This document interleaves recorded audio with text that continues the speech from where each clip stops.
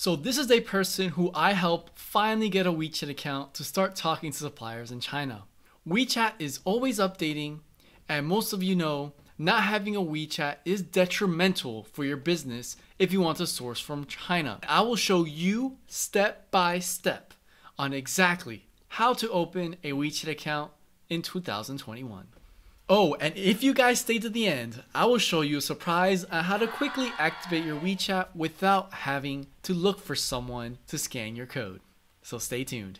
Yes, I had to make a video detailing all the steps from start to finish, maybe a total of 14 to 15 steps, depending on your options. WeChat's always changing its processes for authentication and it is becoming more and more of a hassle, but of course, I want to show you guys how to do this right now. So, step number one make sure your phone provider allows to accept texts and calls from China. I've had cases where providers think the calls are spam and they block them automatically. All verification is done by phone with WeChat. Email confirmation is not a thing in China. So if you want to use WeChat, get used to it. My experience is that iPhone 7 or better work best, meaning Apple phones.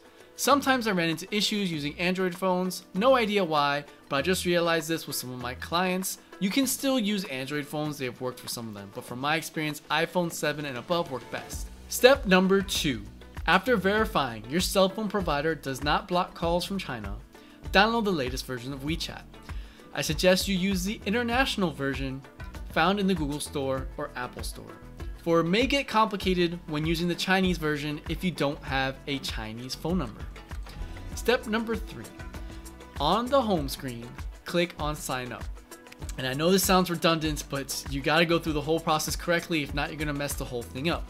So, going on to step number four select your home country region, as in the same phone area code you're using with your phone number. For example, in the USA, the country code is plus one. So I will select the United States because I'm using a US phone number. Don't select another country where your phone number is different from that country's area code. Your country should be listed on this list that's provided by WeChat. Afterward, create your username. It can only be changed once per year, so think carefully. Then you simply write in your phone number. You don't have to type in the country code here because that's already automatically selected when you select the country you are from. And then create your password. Then agree to the terms and conditions and then move on to step number five. Scroll through or read, if you wish, the privacy policy and agree to the terms. To be frank, there is no privacy when using WeChat, as everything is monitored this is the price you pay to be able to talk to locals in China. So if you are not okay with this, don't make an account. Note that they can also track your IMEI, so you can't make multiple accounts on the same phone. WeChat algorithms are really smart to detect if you're using the same phone to register different accounts. Then click on the agree bubble and then hit next. Going on to step number six, you need security verification. This simply needs to be done by moving a puzzle piece or maybe some other, some other way of verifying you to make sure you are a human being. Step number seven, and this part is key and the most frustrating in my opinion. You need to find someone that is qualified to scan your QR code to verify you. Usually, one month of using WeChat if it's an international user without WeChat Pay, or six months of usage with WeChat Pay activated for Chinese version users. Now, here's the kicker every person can only scan verification codes once a month, twice every six months, and three times a year. So if I have scanned a code this month, I cannot scan another friend until next month. Then after I scan that friend the following month, I will have to wait until six months have passed to scan them a third time. To add icing to the cake, each QR code is only valid between one to three minutes. So if you send it to a friend and they take forever to scan the code, you have to start all over with the sign up process. This is a policy WeChat added, maybe to avoid robots from creating accounts or controlling the population of users. You may get another screen if there is no QR code for your friend to scan WeChat. In this case, they would have to write down your phone number you're trying to register with through the WeChat team application in WeChat. They have to select the help friend register and continue on with the steps. I recommend avoiding this option because it is a big hassle to go through, especially for the person verifying you, and you may have to uninstall and reinstall WeChat so that you don't have to go through this option and you just have the option where you just scan the QR code and go on your day. After you have found someone to scan your QR code within that time period and that meet the criteria, you go on to step number eight, and that is you stay on WeChat and your screen should say verification successful if they've actually scanned your QR code and verified you. When you reach this screen on step eight, make sure to click on back to sign up. Do not click on the X. Avoid the X at all times because if you click on the X, you will have to start all over. And you also need to find someone else to scan your QR code because that person that's scanning QR code already used their try for that month. Now going on to step number 9 after you click on back to sign up and not the X, this is the last part of the race. You will receive a one-time password based on the phone number you have written. Remember, I said that your service provider needs to allow for one-time passwords in China, right? Well, if they block the messages, you will need to start over and do the scan QR code again.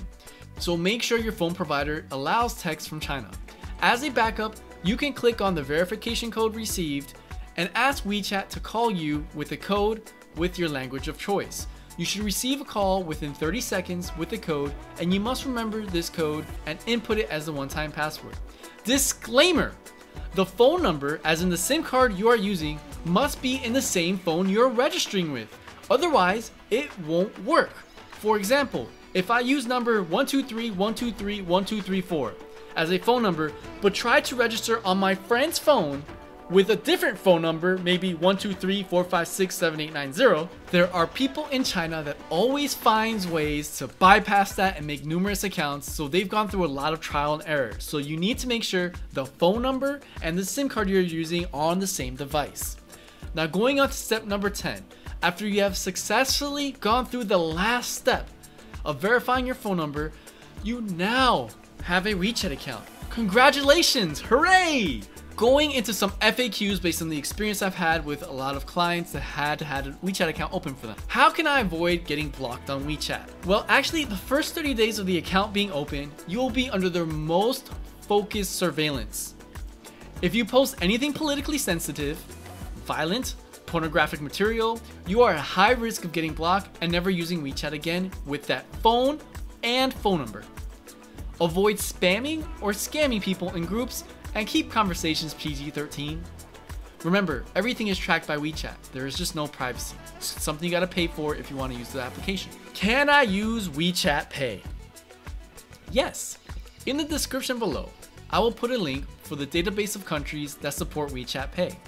Check if your country is there, and all it takes to activate your WeChat Pay is to have someone send you money on WeChat. Note that you will need a valid card and passport to completely use this function. I go into great detail for all the steps using WeChat Pay in this video right here. Can I top up my WeChat Pay? Unfortunately, you can only make online payments, as in delivery, e-commerce like Pinduoduo, with your foreign bank card using WeChat Pay and can only top up your balance with a Chinese bank card or a sketchy third-party service that offers top-up features. Does WeChat have customer service? Yes, but they are horrible. You can call their WeChat Pay hotline here, I'll put the number somewhere in this video, but they only speak Chinese.